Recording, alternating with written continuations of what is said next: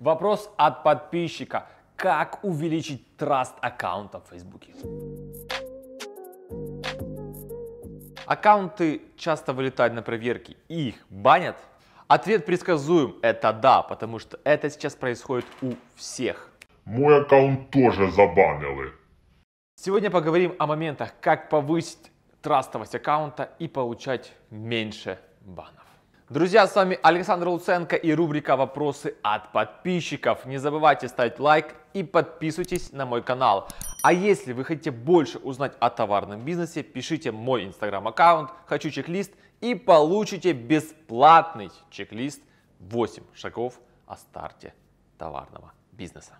Дальше я дам несколько рекомендаций, которых мы придерживаемся в рекламе Facebook. Отлежка аккаунта после покупки. После покупки аккаунта дайте привыкнуть ему к новому IP и к новому браузеру. От 7 до 14 дней. Чем больше он отстоялся, тем лучше. Подвязать номер телефона. Когда мы покупаем или фармим аккаунты, мы подвязываем свои телефоны, чтобы получить смс и пройти чеки. Мобильные прокси. У нас они лучше себя показали, чем статические IPv4.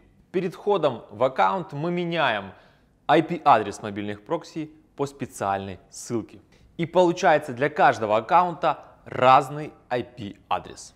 Саша, давай помедленнее, я же записываю. Anti-Detect браузер. Мы используем его для команды и для большого количества аккаунтов. С помощью Anti-Detect браузера вы можете работать хоть с тысячу аккаунтами на одном персональном компьютере. И Facebook не найдет связи между этими аккаунтами и не забанит вас. Профиль социального аккаунта должен быть максимально заполнен. Место работы, посты, фотографии. Вы должны быть как реальный человек. Я через себя буду крутить, я и так реальный человек.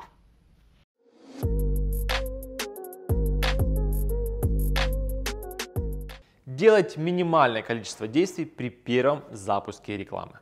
Зашли, запустили и увидимся завтра. Если вы думаете, что на новом аккаунте за 100-200 рублей вы будете настраивать 10 групп объявлений и 10 креативов, то вы ошибаетесь. Это бан. Мы используем стратегию 1.1.1. На моем YouTube канале есть это видео. Посмотрите обязательно. И последнее. Проходим любые проверки. Например, вы взяли свой личный аккаунт для запуска рекламы и вас забанили. Вам нужно загрузить свои документы для подтверждения личности, чтобы реклама запустилась.